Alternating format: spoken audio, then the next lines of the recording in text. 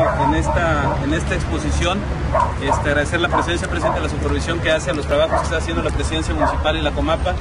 eh, donde, les donde le informamos que estamos haciendo la limpieza de este eh, dren pluvial en la zona poniente, conocido como dren rielero, eh, el cual tiene una longitud de más de 5 kilómetros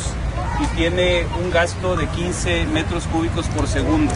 Para dar la, la noción fundamental de la importancia de este dren, eh, este desaloja en temporada de lluvias más de 15 veces lo que consume todo Victoria en un día.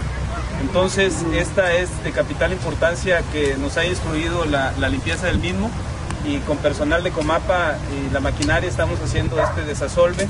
que estamos, estamos seguros que vendrá a fortalecer la protección, la seguridad, la tranquilidad de los habitantes del sector y de toda la ciudad también por el, por el manejo que se tiene aquí de, del eje vial. Y esto es, es, parte de los beneficios que se están otorgando en materia de protección civil dentro del marco de, del Consejo Municipal de Protección Civil que encabeza el presidente municipal.